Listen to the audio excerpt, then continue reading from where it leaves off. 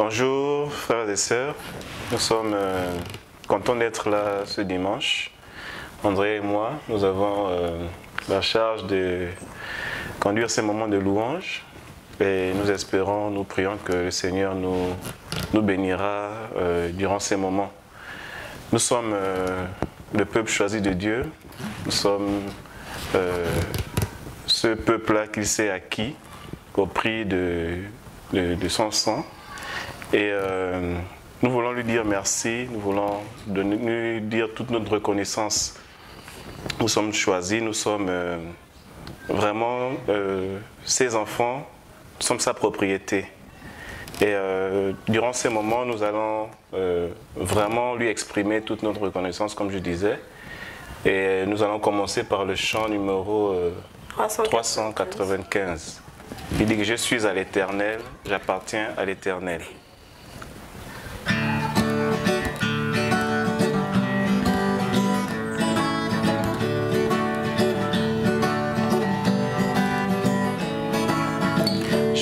Suis à l'éternel, j'appartiens à l'éternel, je suis à l'éternel, j'appartiens à l'éternel.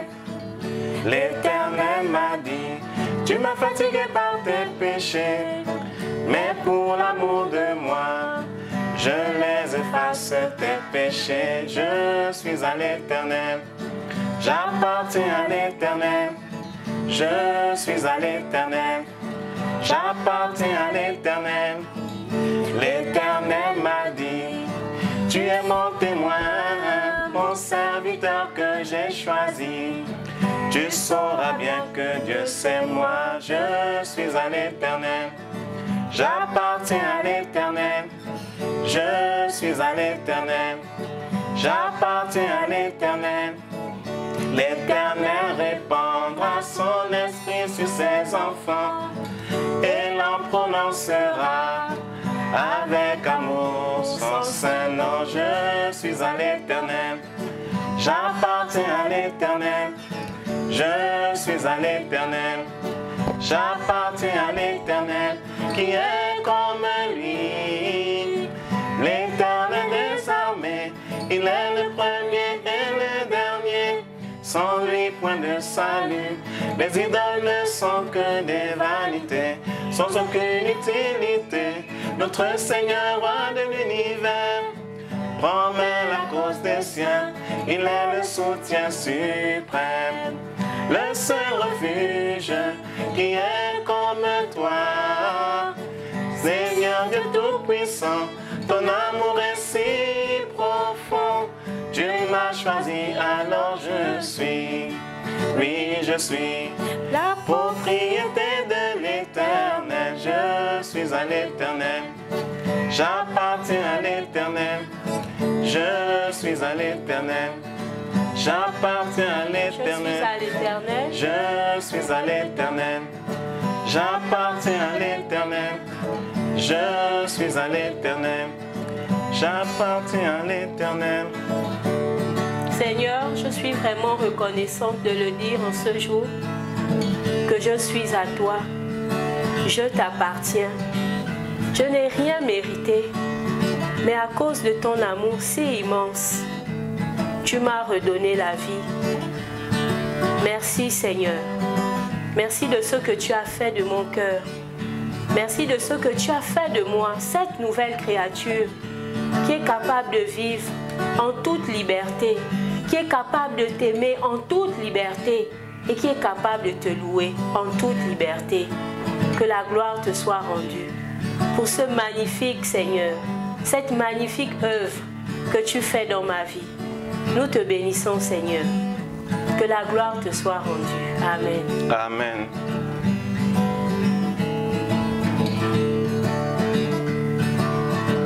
Qui est comme lui, qui est comme lui, l'éternel des armées, il est le premier et le dernier, sans lui point de salut, les idoles ne sont que des vanités, sans aucune utilité, notre Seigneur roi de l'univers promet la cause des siens, il est le soutien suprême le seul refuge qui est comme toi.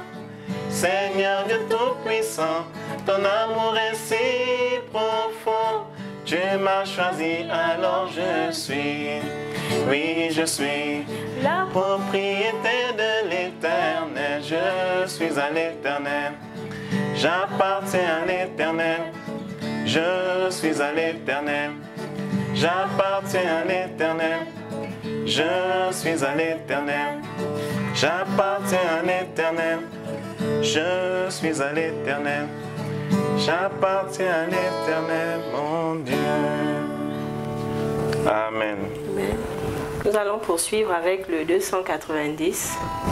Grand Dieu, Dieu de mon salut, c'est à toi que j'élève mon âme. Célébrons notre Dieu, disons-lui qui il est pour nous.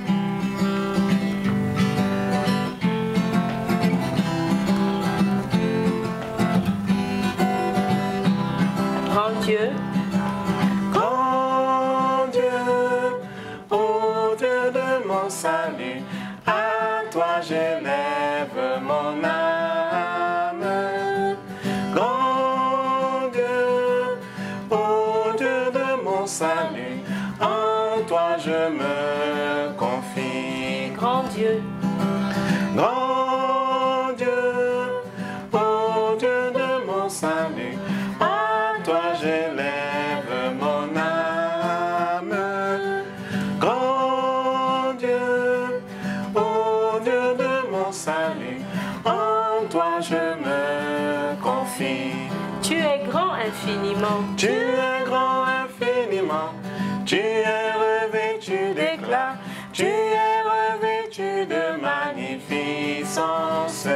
me prosterne Je devant me toi. prosterne devant toi, ô grand roi, pour te contempler et t'adorer. Je te contemple, Je te contemple dans ton saint trône de grâce.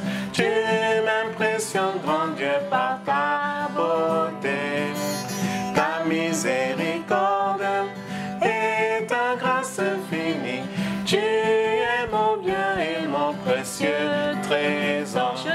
contemple, Je te contemple dans ton saint trône de grâce. Tu m'impressionnes, grand Dieu, par ta beauté, ta miséricorde et ta grâce infinie. Tu es mon bien et mon précieux trésor. grand Dieu, Grand Dieu, Dieu de mon salut. J'élève À mon âme. j'élève mon âme. Grand Dieu, Grand Dieu, Dieu de mon salut. oh C'est en salut. toi que je me En confie. toi je me confie.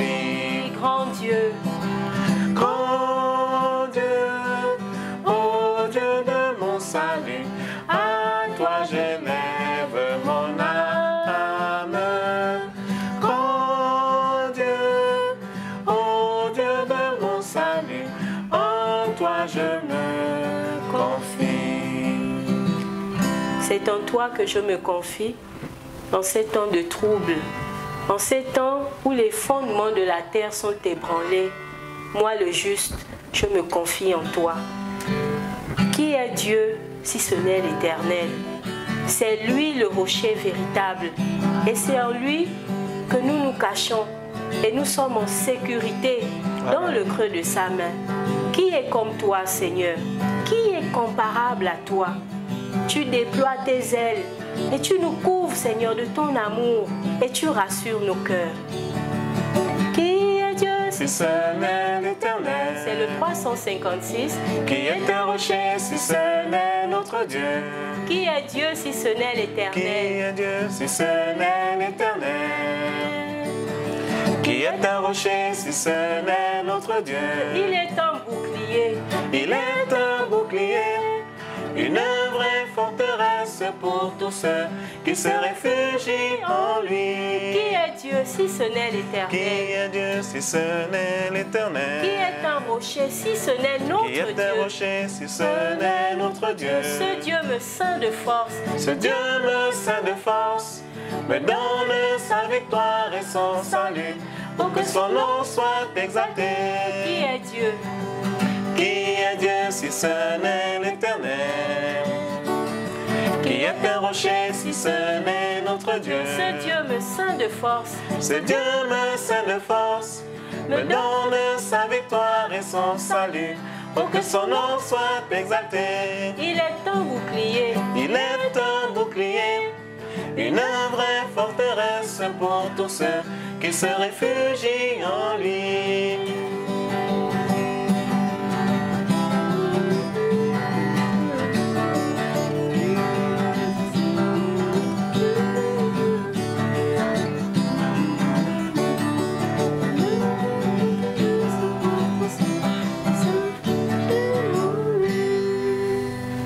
Amen. Oui Seigneur, tu es Dieu et c'est toi notre bouclier. Nous te bénissons, Seigneur. Nous sommes vraiment fiers d'appartenir à un Dieu comme toi. Tu es victorieux et tu nous as donné ta victoire. Merci Seigneur. Nous sommes régénérés, nous sommes créés à nouveau, Seigneur, par ton sang, par ton sacrifice à la croix. Et vraiment, nous sommes euh, pleins de joie de vivre ta vie, Seigneur, la vie qui consiste vraiment à te connaître, toi, le seul Dieu et le véritable. Nous te bénissons au nom de Jésus-Christ. Amen. Amen. Bonjour frères et sœurs. C'est encore euh, un, un véritable euh, disons, plaisir euh, de vous rejoindre euh, là, où, là où vous êtes euh, pour euh, nous entretenir encore d'un sujet que j'ai cru, euh, disons, assez important pour que je puisse partager cela. Alors, aujourd'hui, euh, j'aimerais parler avec vous du lieu de culte. Donc, euh, le partage de, de ce matin va porter sur le lieu du culte. Pendant cette période de déconfinement, nous avons effectivement, nous sommes en train de vivre, euh, euh, disons, une situation où les lieux de culte ont été fermés. Et pour certains, pour beaucoup, euh, ça a été une occasion de dire que c'est un nouveau départ. Mais j'aimerais effectivement que nous parlions du lieu de culte. Alors, euh, j'aimerais donc, disons, pour commencer, lire euh, un livre, plutôt un passage dans le livre de, de Luc, euh, au chapitre 1. Euh, J'aimerais commencer par le verset 66. En fait, il s'agit bien, disons, de l'histoire euh, qui a suivi la naissance de Jean, Jean, Jean-Baptiste. Euh, suite à sa naissance, alors que son père, Zacharie, qui était souverain sacrificateur, euh, alors qu'il se trouvait dans le Saint des Saints pour offrir les parfums, il a vu un ange et en sortant de là-bas, il est devenu muet. Et l'ange lui avait parlé, mais lui, il est sorti de là sans voix. Euh, sa femme, Élisabeth, est donc, disons, tombée enceinte. Et quand sa femme est tombée enceinte, au bout du temps accompli, elle a donné naissance à un fils. Alors, ce fils a été nommé Jean. Et le jour où on devait circoncire cet enfant, c'est-à-dire selon la coutume, le huitième jour, euh, c'est en ce moment-là, lorsque Jean a confirmé que, lorsque Zacharie plutôt a confirmé que le nom de l'enfant serait Jean, eh bien, euh, ça, il a retrouvé l'usage de la parole. Et parmi les choses qu'il a dites, parce que euh, au sortir de là, il s'est mis à prophétiser. Et à partir du verset 66, nous allons commencer par là. Tous ceux qui en entendaient parler les prirent à cœur et dirent, que donc sera ce petit enfant? En effet, la main du Seigneur était avec lui. Zacharie, son père, fut rempli d'Esprit Saint et prophétisa en ces termes. Béni soit le Seigneur, le Dieu d'Israël, de ceux qu'il a visité et racheté son peuple, et nous a procuré une pleine délivrance dans la maison de David, son serviteur. Comme il en avait parlé par la bouche de ses saints prophètes depuis des siècles. La délivrance de nos ennemis et de la main de tous ceux qui nous haïssent.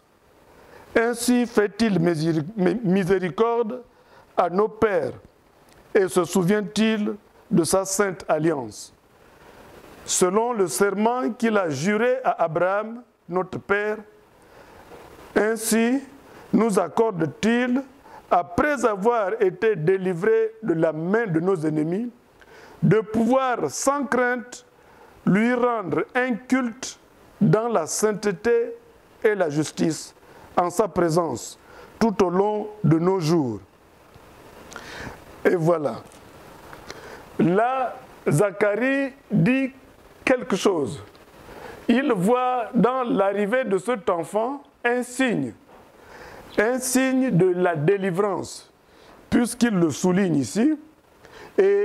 Et il dit que cette délivrance sera suivie de la capacité des, enfants, disons, disons d'Israël, de pouvoir, sans crainte, après avoir été délivrés des ennemis, les enfants d'Israël pourraient sans crainte rendre à Dieu un culte dans la sainteté et la justice, en sa présence, tout au long des jours, tout au long, il dit ici, tout au long de nos jours. Donc c'est un, culte perpétuel qui devait désormais être rendu à Dieu sans crainte.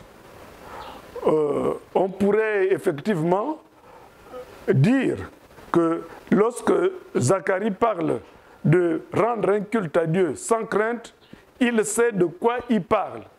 Parce que, en tant que souverain sacrificateur, Zacharie qui entrait une fois par an, quand c'était son tour, Zacharie allait avec une appréhension, une sorte de crainte, une sorte de peur d'aller dans la présence de Dieu pour aller offrir en l'honneur de tout le peuple le sacrifice.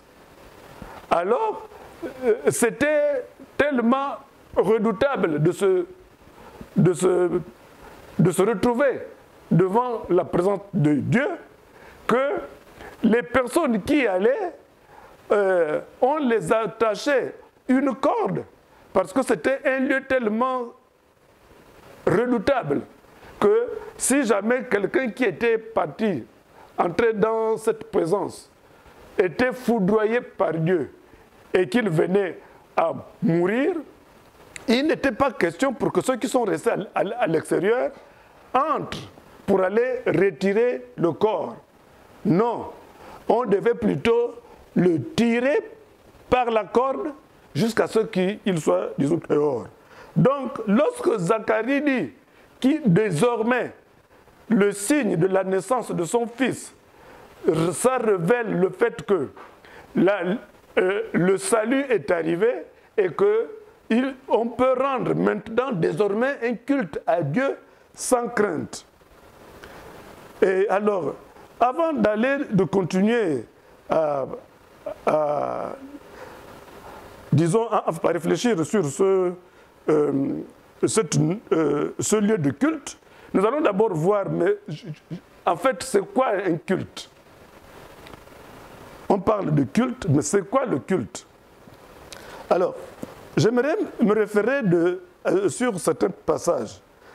Par exemple, dans l'ancien dans, dans l'ancien testament, l'ancienne alliance, la notion de culte est transposée dans l'ancienne alliance par, par servir Dieu ou le suivre, c'est-à-dire être à sa suite, marcher derrière lui. Euh, le culte, d'ailleurs, dans certains passages, dans certaines, disons, versions, lorsqu'on lit ce passage, on ne voit pas le mot culte, mais on voit afin de servir sans crainte. Donc, le culte, c'est le service à Dieu. Et c'est le fait de suivre Dieu, c'est-à-dire de pouvoir marcher à sa suite. On peut lire ce en Exode, euh, Exode disons 3. Euh, on va lire Exode 3 à partir euh, du verset 7. Exode 3. À partir du verset 7. L'Éternel dit, j'ai bien vu la misère de mon peuple qui est en Égypte, et j'ai entendu son cri à cause de ses oppresseurs, car je connais ses douleurs.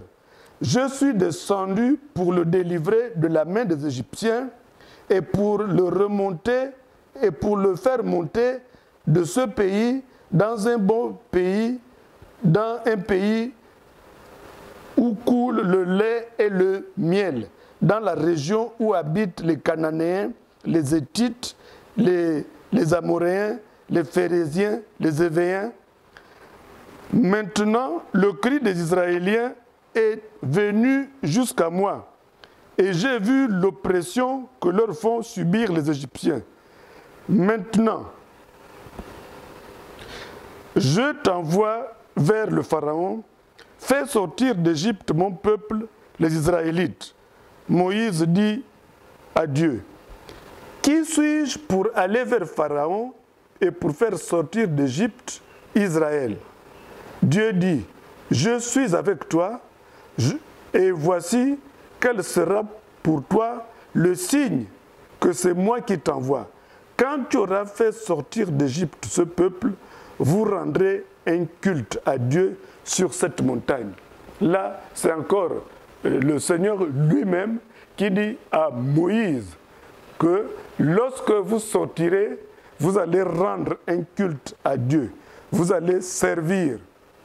Euh, donc, euh, on peut lire également dans Jérémie 2.2 toujours cette notion.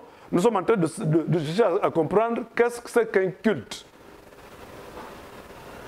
Voici ce qui est dit en Jérémie 2, au, verset 2.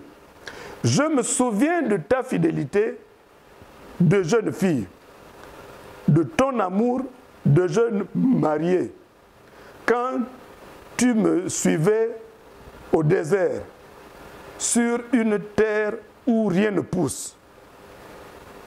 Voyez, ici,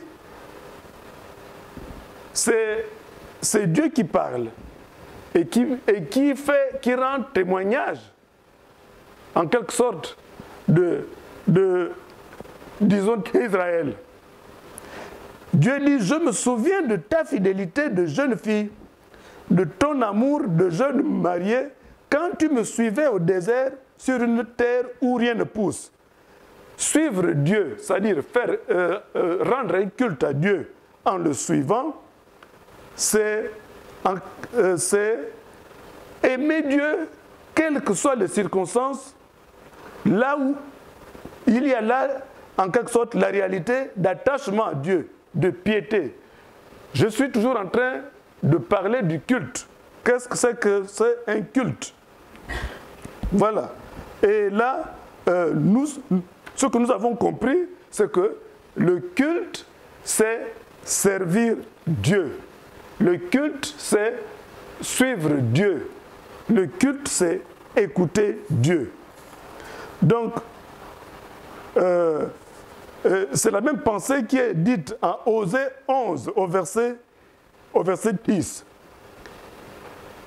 Ils suivront le Seigneur qui rugira comme un lion, car il rugira, et ils accourront de la mer en tremblant.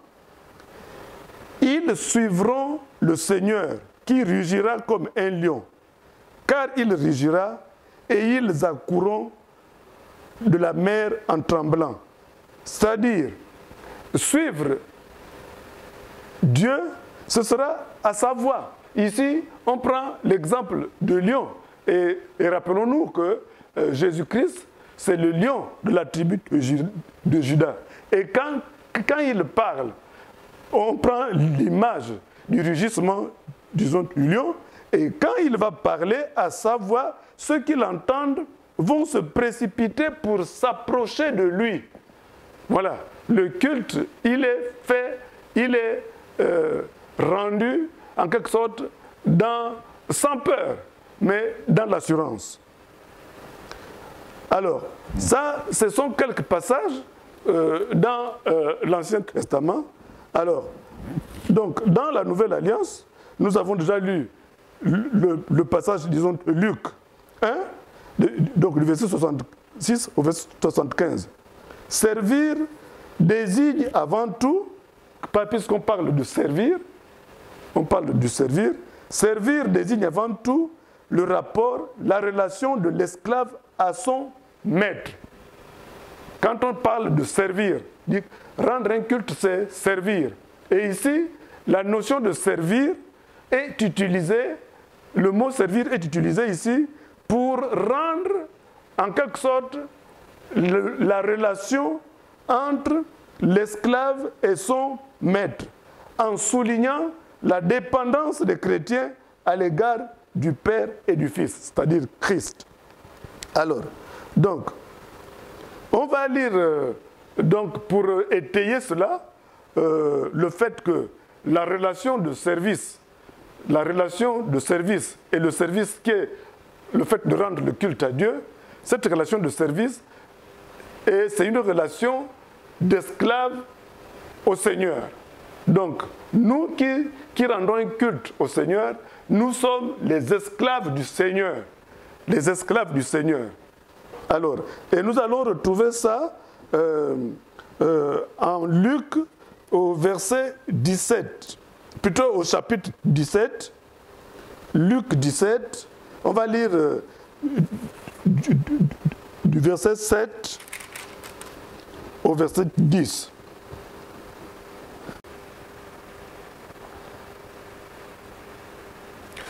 C'est Jésus qui parle. Il dit ceci. Qui de vous, s'il a un serviteur qui laboure ou fait paître les troupeaux, lui dira, quand il revient des champs, viens tout de suite te mettre à table. Ne lui dira-t-il pas au contraire, prépare-moi le repas, mets-toi en tenue pour me servir, jusqu'à ce que j'ai mangé et que et bu, après cela, toi tu mangeras et boiras.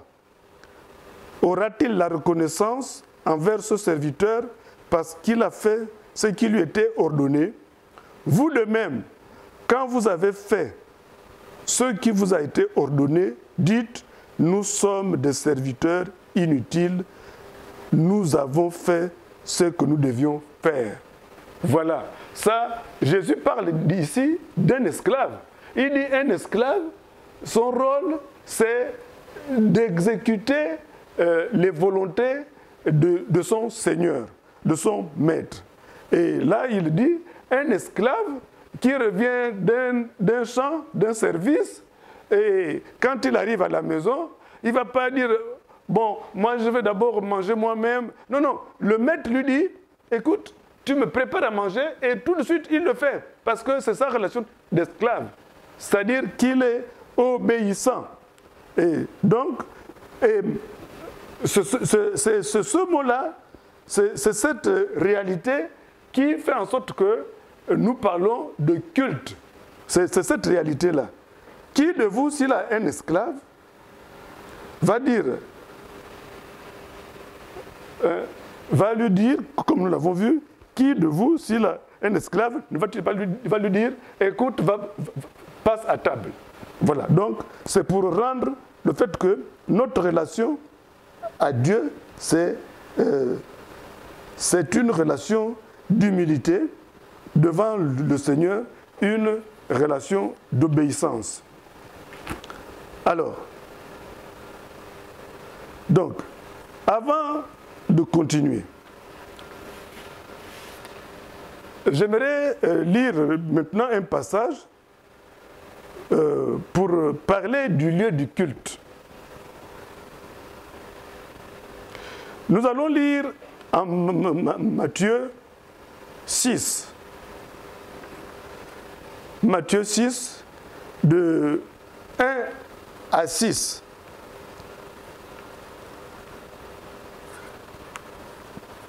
Voilà, c'est Jésus qui parle.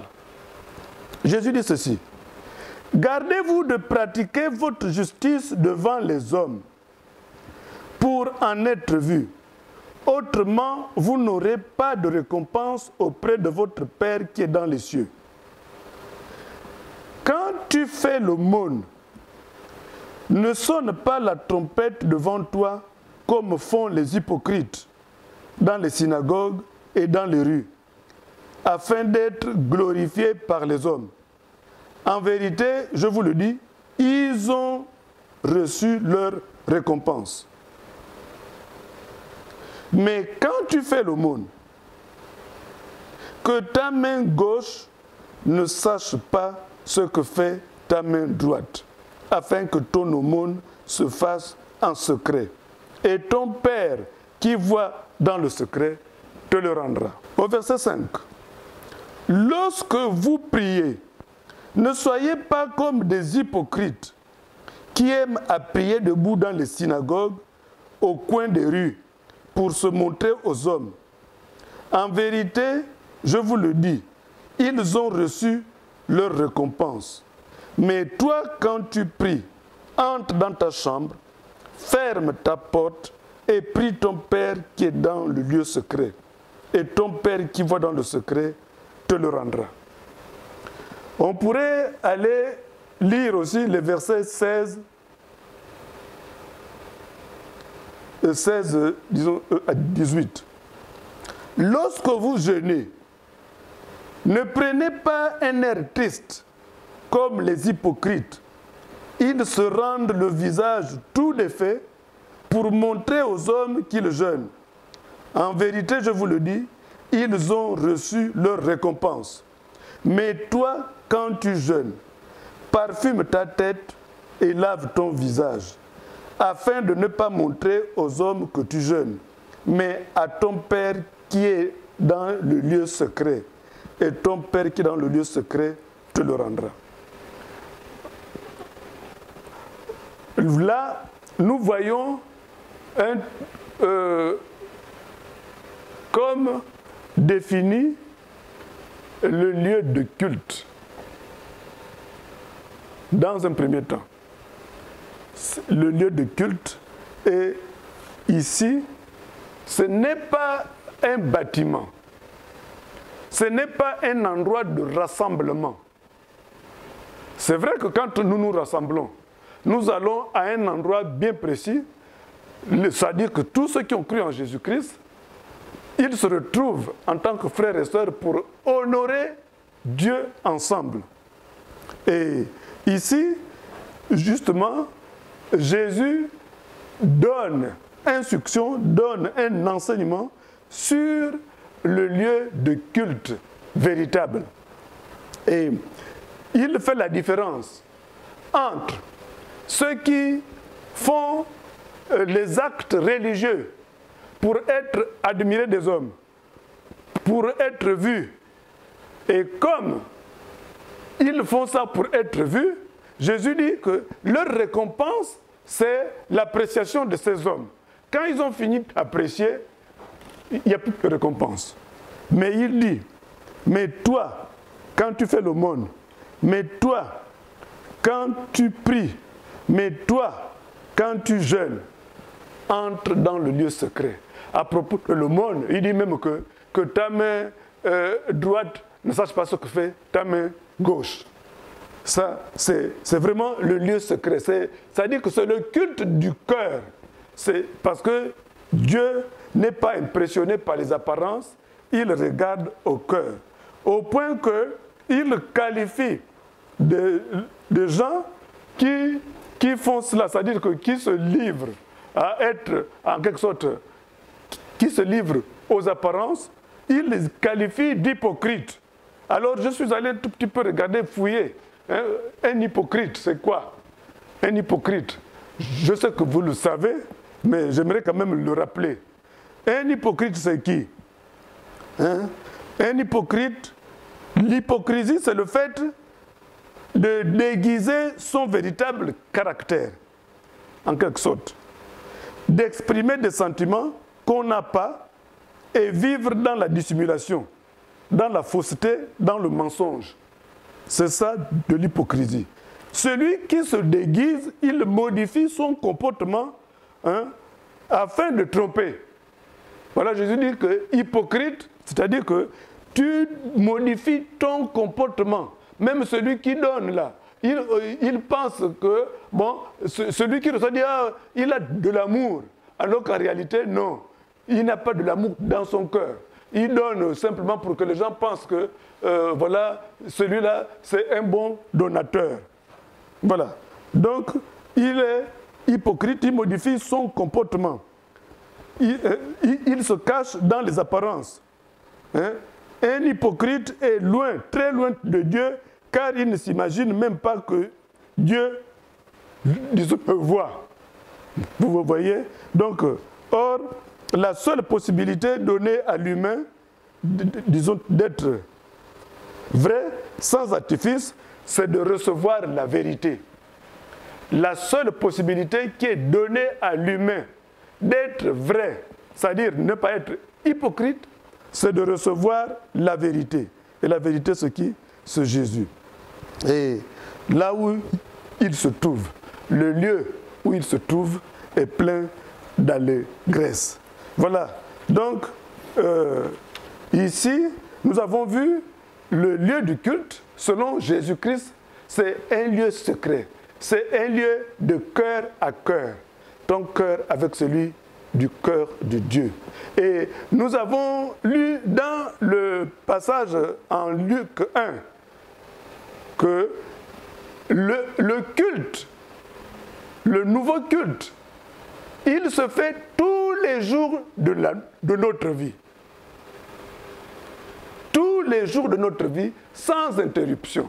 Or, les gens qui se limitent au culte, au lieu du culte, du dimanche, avant, le, avant que le Covid euh, ne nous oblige à, rester euh, chacun, disons, chez soi, avant cela, euh, on pensait, les gens allaient faire parfois les apparences, montrer les apparences, que, que son cœur est à Dieu, alors qu'en réalité, son cœur est éloigné de Dieu. Mais ce temps le temps présent, justement pour subsister, pour, pour rester dans la présence de Dieu. Ce temps nous permet de, en quelque sorte, de voir, de voir qui a vraiment donné sa vie à Jésus-Christ. Donc, nous allons continuer. Euh, pour, pour parler justement de comment est-ce que nous avons obtenu, euh, cette possibilité, disons, de pouvoir rendre euh, à Dieu un culte. Ça n'a été possible que par l'œuvre de Christ à la croix. Sa mort féroce a eu pour objectif de nous réconcilier avec Dieu afin que nous devenions ce pourquoi nous avons été créés. C'est-à-dire servir le Seigneur, l'aimer, l'honorer, l'adorer à tout instant de notre existence sur la terre, c'est-à-dire lui rendre un culte perpétuel. Euh, ceux qui se souviennent encore euh, des années 80, lorsque le pasteur Bronquet est arrivé ici à Libreville, il, euh, lors d'une de ses prédications, il avait parlé des chrétiens sous-marins. Et le chrétien sous-marin, c'est celui qui, après le dimanche au culte, après les chants et les louanges, après la prédication, lorsqu'il rentre à la maison, lundi, mardi, mercredi, il entre lundi matin euh, dans la mer comme un sous-marin, dans, le monde, dans la vie, comme un sous-marin. Lundi, mardi, mercredi, jeudi, vendredi, jusqu'à samedi soir. Et, le matin, le dimanche matin, il ressort et il va au culte. Alors, et il, croit qu'il est en train de rendre un culte à Dieu. Donc, celui-là, il, s'inscrit dans le cadre de l'hypocrisie. Alors, ce temps de confinement, euh, ce temps où les lieux de culte conventionnels sont fermés, mais le lieu de culte n'a pas été fermé. Parce que le véritable lieu de culte, c'est ton cœur avec celui de Dieu. C'est pour cela qu'il est dit, garde ton cœur plus que toute autre chose, car c'est de lui que viennent les sources de la vie. Alors, je disais que c'est l'œuvre de Jésus-Christ qui a amené à ce que nous soyons capables de nous approcher de Dieu, de pouvoir servir Dieu, de pouvoir l'aimer, de pouvoir l'honorer. Alors, hein, on va lire euh, cela en 1 Pierre 3, au verset, au verset 18. Alors, il est dit ceci. Christ a aussi souffert une fois pour les péchés. Lui juste pour des injustes, afin de nous amener à Dieu, ayant été mis à mort quant à la chair, mais rendu vivant quant à l'esprit. Christ a souffert une fois pour les péchés, lui juste pour les injustes, afin de nous amener à Dieu. La souffrance de Christ, sa mort à la croix, avait pour objectif de nous amener à Dieu parce que nous étions séparés. C'est la mort, c'est sa mort qui nous réconcilie.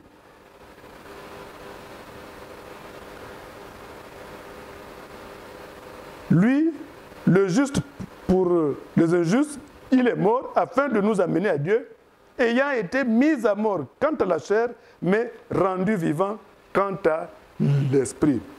On retrouve cette même pensée, cette même vérité euh, en, en, Éphésiens 2, euh, versets 17 et 18.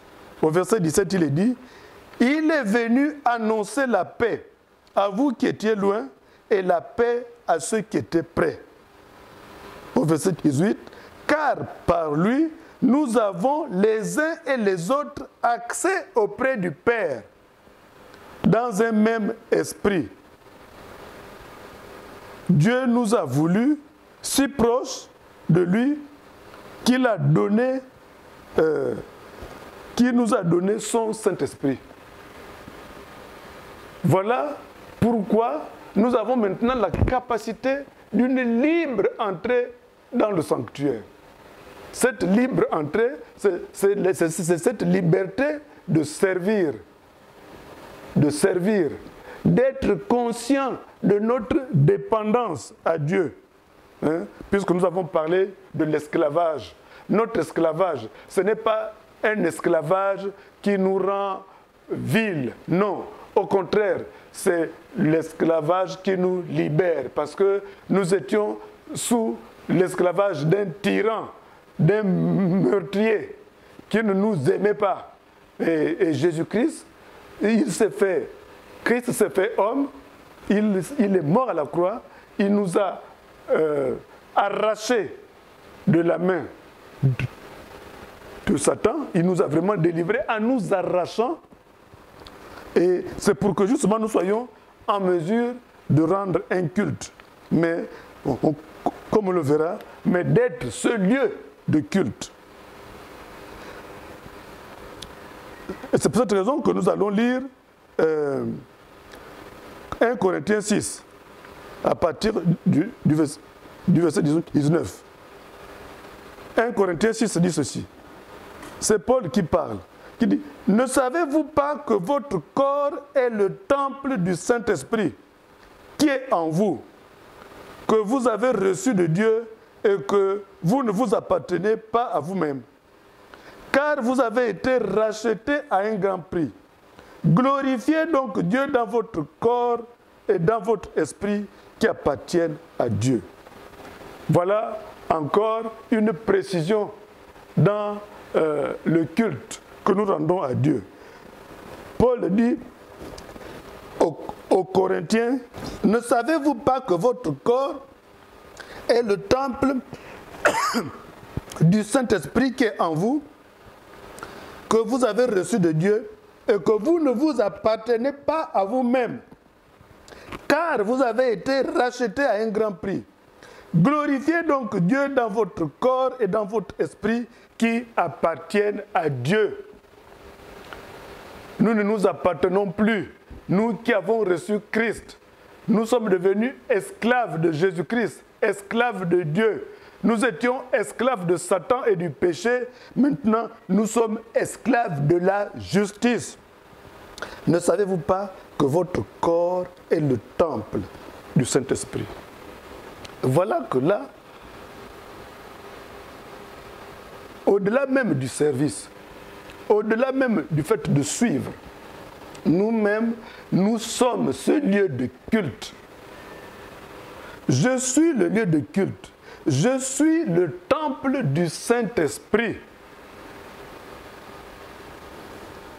Et c'est cet esprit que j'ai reçu de Dieu. Donc ça fait en sorte que je ne m'appartiens pas à moi-même. Ce n'est pas moi qui décide de moi. Et ça, tous les jours de ma vie, à chaque instant. Car j'ai été racheté à un grand prix, le plus grand prix. Christ, fait homme, le bien-aimé du Père.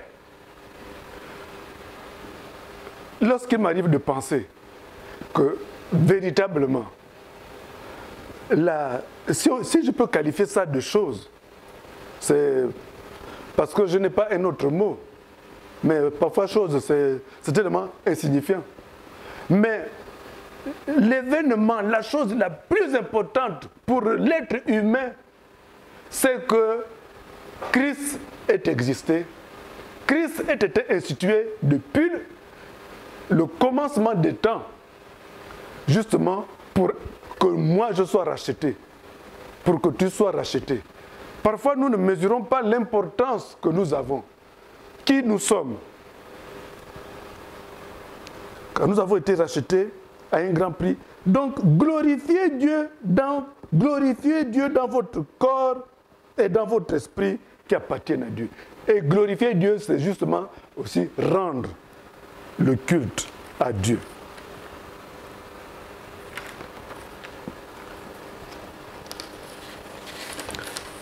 Alors, nous voyons à la suite, parce que là, on vient de dire, que nous sommes le temple du Saint-Esprit. Nous voyons, nous, allons lire Philippiens 3. En Philippiens 3, nous lisons ceci au chapitre 3. Car les circoncis, c'est nous qui rendons à Dieu notre culte par l'Esprit de Dieu qui nous glorifions en Jésus-Christ et qui ne mettons point notre confiance dans la chair. Nous, faisons encore un pas en avant. C'est Paul qui écrit aux Philippiens. Il est en train, il est confronté euh, aux religieux, confronté aux religieux qui veulent vivre selon la loi les circoncis, la circoncision euh, nous allons voir ça dans la Bible, comment est-ce qu'elle est, disons, finie. Alors, euh, nous allons aussi lire euh, Colossiens 2, de, de- de 8 à 11. Mais j'aimerais qu'on revienne encore sur Philippiens? Philippiens, di- disons 3. J'aimerais lire d'ailleurs à partir du verset 1. Paul dit ceci. Au reste, mes frères, réjouissez-vous dans le Seigneur. Je n'éprouve aucun ennui à vous écrire les mêmes choses. Et pour vous, c'est une sécurité. Prenez garde aux chiens. Prenez garde aux mauvais ouvriers. Prenez garde aux faux circoncis. Car les vrais circoncis, c'est nous qui rendons à Dieu notre culte par l'Esprit de Dieu.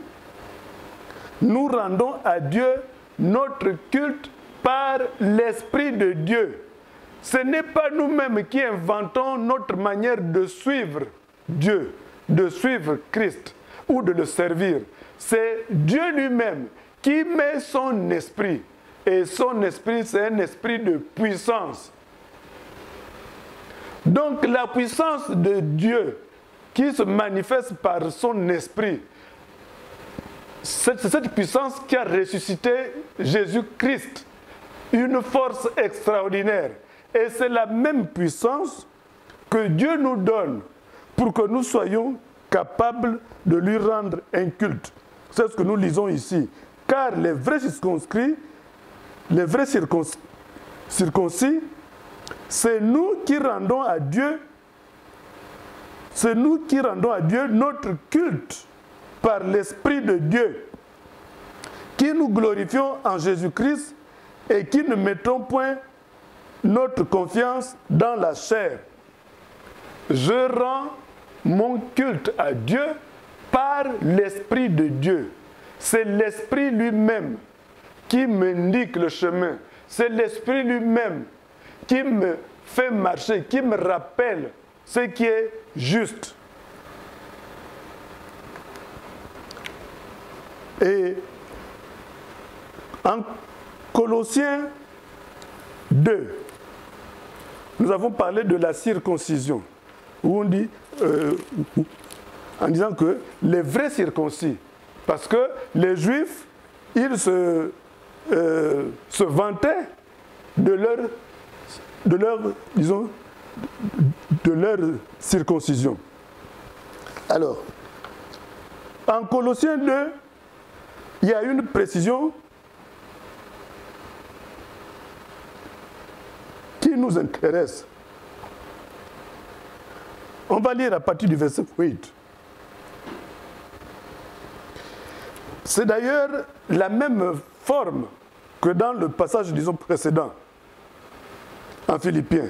Paul met toujours en garde. Il dit, prenez garde que personne ne fasse de vous sa proie par la philosophie ou par une vaine tromperie selon les traditions des hommes, selon les principes élémentaires du monde et non selon Christ. Car en lui habite corporellement toute la plénitude de la divinité. Et vous avez tout pleinement en lui, qui est le chef de toute principauté et de tout pouvoir. En lui, c'est-à-dire en Christ Jésus, vous avez été circoncis d'une circoncision qui n'est pas faite par la main des hommes, c'est-à-dire le dépouillement du corps de la chair, la circoncision de Christ. Paul a d'abord dit en Philippiens 3.3 que les vrais circoncis, c'est nous qui rendons à Dieu notre culte par l'Esprit de Dieu. Et dans ce passage, on explique ce que c'est que la circoncision. Cet acte physique qui est fait sur le mal. Et en quoi est-ce qu'il consiste? Au verset 11, il dit En lui, vous avez été circoncis d'une circoncision qui n'est pas faite par la main des hommes, c'est-à-dire le dépouillement du corps de la chair, la circoncision de Christ. La circoncision dont il s'agit ici, hein, que, que tous les genres humains, aussi bien les hommes que les femmes, ici, ça concerne tout le monde parce que il ne s'agit pas d'une circoncision faite par la main d'un homme, mais c'est une circoncision qui consiste dans le dépouillement de, de l'œuvre. Dans, dans la circoncision, on enlève, on expulse, on enlève une partie du corps, on se dépouille. Et justement, nous avons déjà vu cela, que la vie avec Christ, la relation avec Christ, ça consiste à se dépouiller de soi-même. C'est ça la vraie circoncision. C'est lorsqu'on s'est dépouillé de soi-même qu'on devient apte à rendre un culte à Dieu. C'est lorsque on s'est dépouillé de soi-même, on, on est allé à la croix, on s'est laissé crucifier à la croix, qu'on est devenu apte à rendre un culte à Dieu et être des vrais adorateurs qui adorent en esprit en vérité. On verra sûrement ce passage, euh, disons par la suite. Sans cette circoncision, celle du dépouillement de la chair, il est impossible de rendre à Dieu un culte. Il faudrait qu'on ne, hein, ne, se fasse pas des illusions. Le dépouillement, c'est-à-dire se vider de soi, de son caractère, de ses pensées infâmes, ce n'est pas une option. C'est une exigence absolue. Parce que c'est ça qui me rend apte, c'est ça qui me rend éligible pour oser rendre un culte à Dieu, c'est-à-dire servir Dieu, l'aimer, le suivre. C'est quand on s'est dépouillé de son vieil homme et qu'on a maintenant une intelligence renouvelée. Le Saint-Esprit est si puissant qu'il permet de réaliser en nous la capacité de vouer toute notre vie au Seigneur. J'aimerais revenir sur cette idée.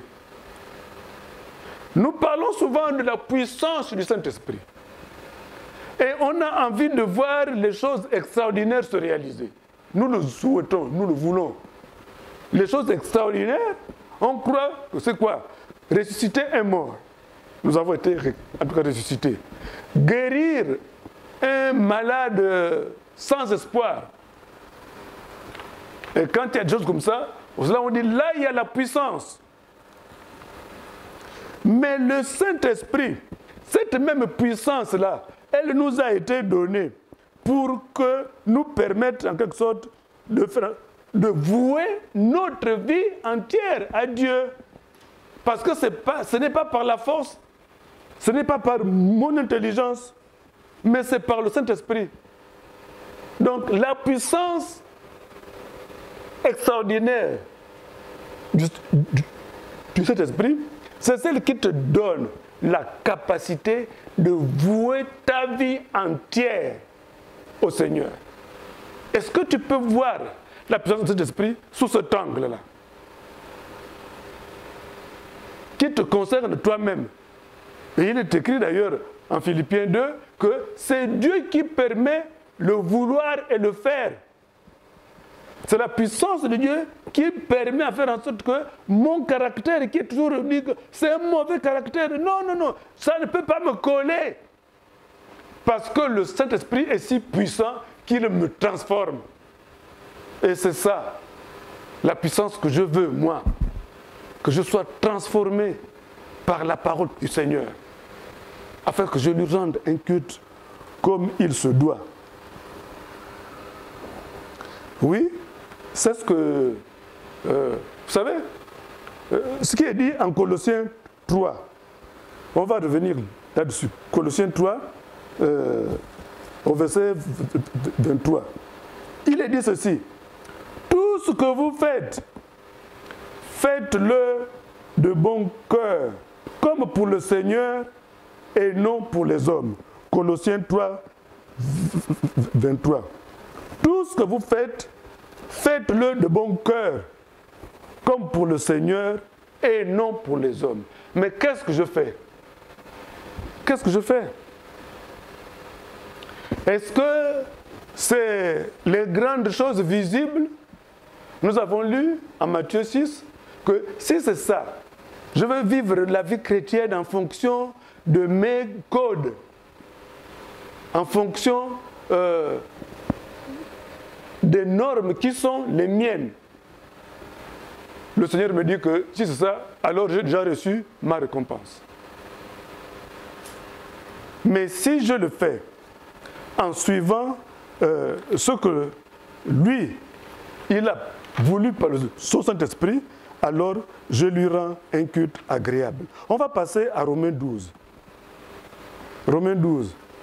Est-ce que nous pouvions parler de ça, du culte, sans citer ce passage Romains 12, 1 et 2.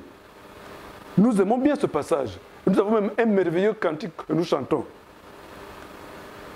Je vous exhorte donc, frères, par les compassions de Dieu, à offrir vos corps comme un sacrifice vivant, saint et agréable à Dieu, ce qui sera de votre part un culte raisonnable. Qu'est-ce qui veut rendre au Seigneur un culte raisonnable?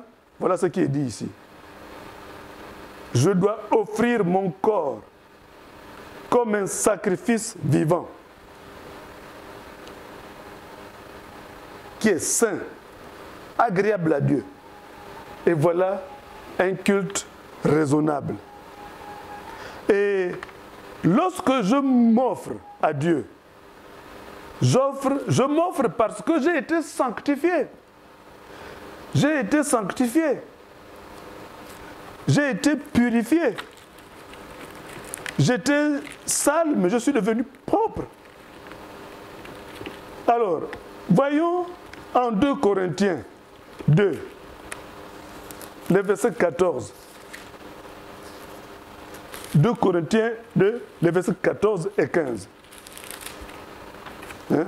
Nous avons, nous sommes passés par hein, Romains 12, 1. Rendre un culte à Dieu de manière raisonnable. Voyons maintenant 2 Corinthiens 2 au verset 14. Grâce soit rendue à Dieu qui nous fait toujours triompher en Christ et par qui et qui par nous répand en tout lieu l'odeur de sa connaissance.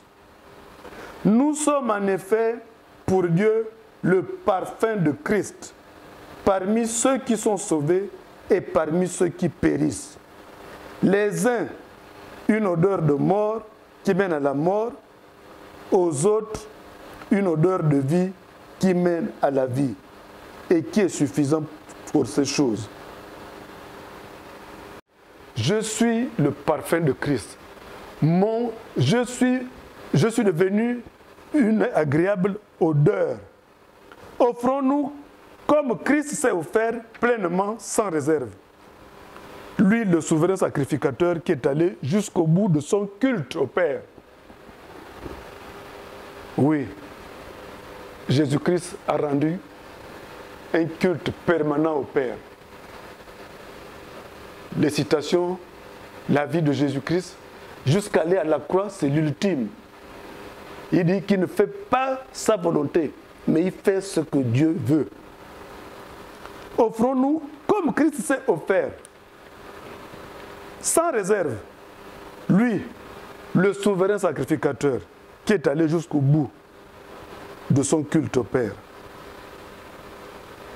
Éphésiens 5, de 1 à 2.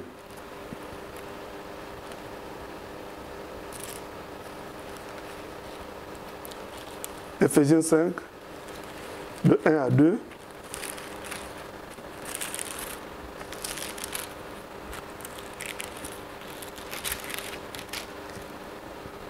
voyez ce qui est écrit. Soyez donc les, les imitateurs de Dieu comme des enfants bien-aimés. Soyez les imitateurs de Dieu. Mais est-ce que c'est trop élevé comme barre? Je suis, moi, humain, appelé à imiter Dieu. Soyez donc les imitateurs de Dieu comme des enfants bien-aimés et marchez dans l'amour, de même que Christ nous a aimés et s'est livré lui-même à Dieu, à Dieu pour nous, en offrande et en sacrifice comme un parfum de bonne odeur. C'est Christ qui a inauguré la voie. Lui, le juste, pour nous les injustes. Il s'est offert comme un parfum de bonne odeur. Et nous, ayant été purifiés, il nous amène à porter son odeur, son parfum. C'est ce que nous avons lu en 2 Corinthiens 2, que nous sommes l'odeur de Christ. Nous répandons cette odeur. Nous répandons cette odeur. Pour ceux qui ne sont pas encore sauvés, lorsqu'ils nous voient, quand ils perçoivent ça, ils voient la gloire de Dieu et ils se convertissent.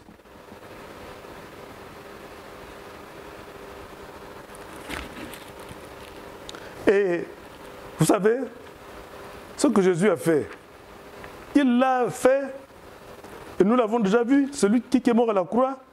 Lisons en Jean 12, les versets 26 et 27 pour parler toujours du culte de Jésus au Père. Jean 12.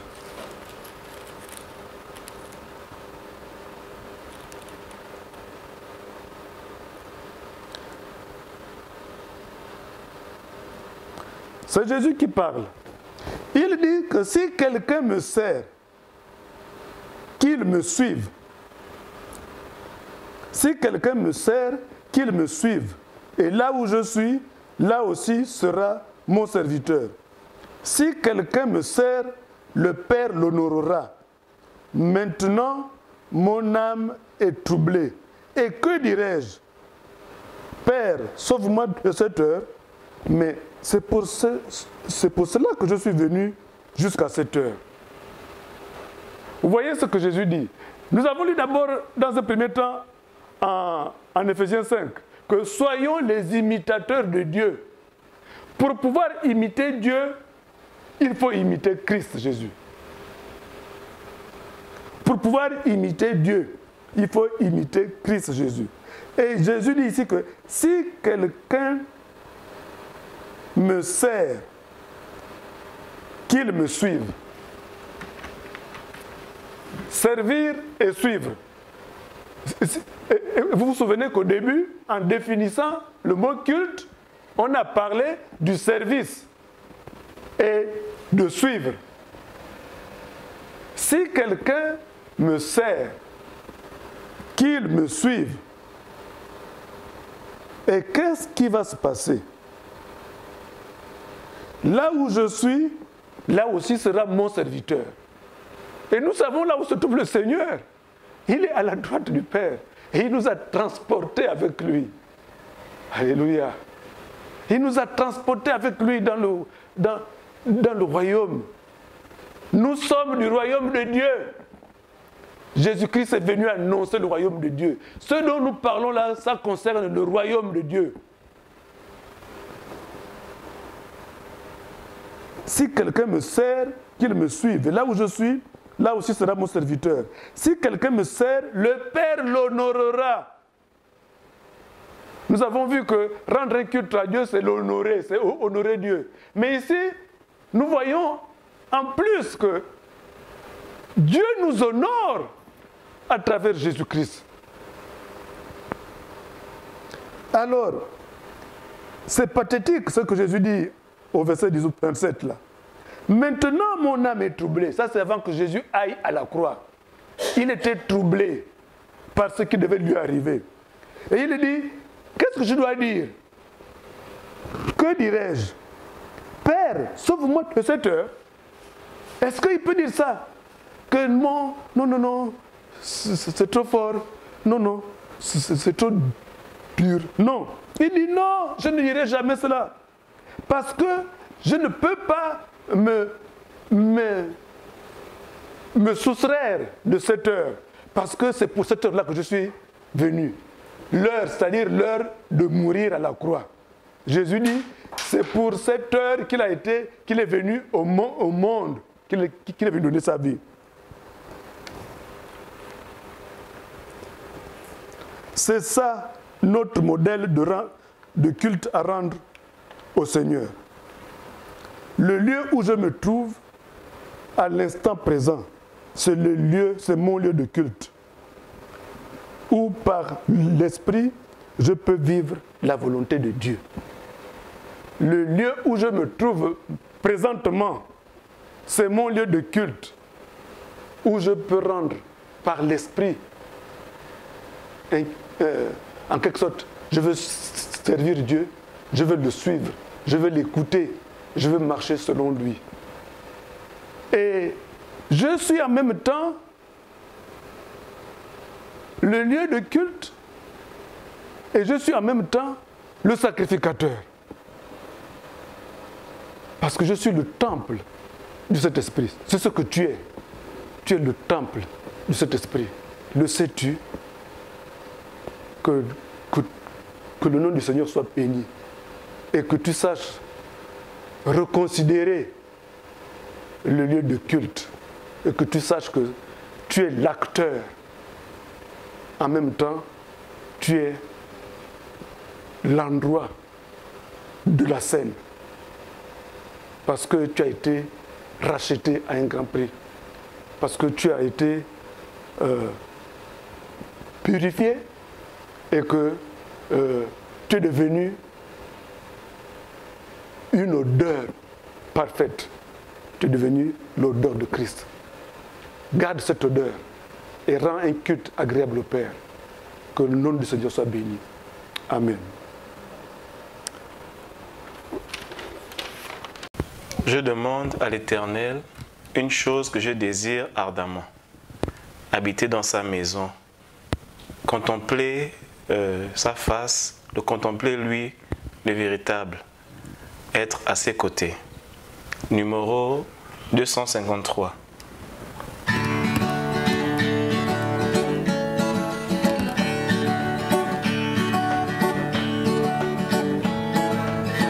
Je demande, je demande à l'éternel une chose que je désire ardemment.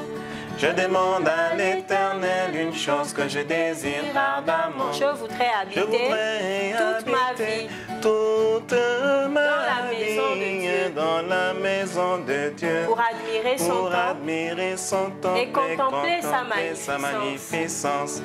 Pour admirer son temple et contempler sa magnificence. Je demande à l'éternel. Je demande à l'éternel une chose que je désire ardemment.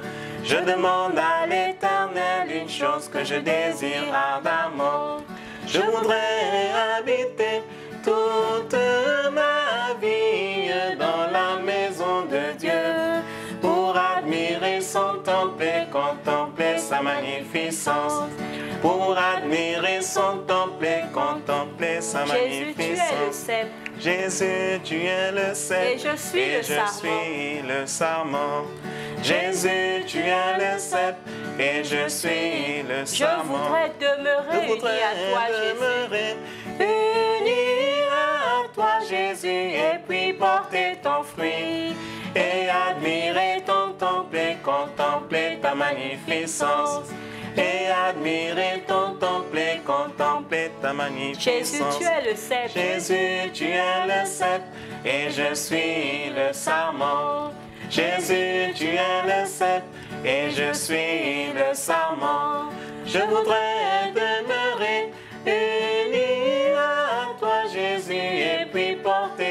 et admirer ton temple et contempler ta magnificence et admirer ton temple et contempler ta magnificence. Oh Dieu, tu es mon Dieu. Oh Dieu, tu es mon Dieu. et mon âme a soif de toi. Oh Dieu, tu es mon Dieu, et mon âme a soif de toi. Je voudrais Je demeurer voudrais demeurer uni à toi, Seigneur. uni à toi, Et vivre pour ta gloire. pour ta gloire. Et admirer ton temple et contempler ta magnificence. Et admirer ton temple et contempler sa magnificence. Oh Dieu, Oh Dieu, tu es mon Dieu, et mon âme a soif de toi. Oh Dieu, tu es mon Dieu, et mon âme a soif de toi. Je voudrais demeurer uni à toi, Seigneur, et vivre pour ta gloire. Et admirer ton temple et contempler ta magnificence. Et admirer ton temple et contempler ta magnificence. Admirer ton Et admirer Contempler ton ta temple, magnificence. contempler ta magnificence. Et admirer ton temple et contempler ta magnificence. Amen. Amen. Donc nous arrivons au terme de ces moments. Nous vous souhaitons de passer une bonne journée dans la présence de notre Seigneur. Soyez tous bénis. Amen. Amen.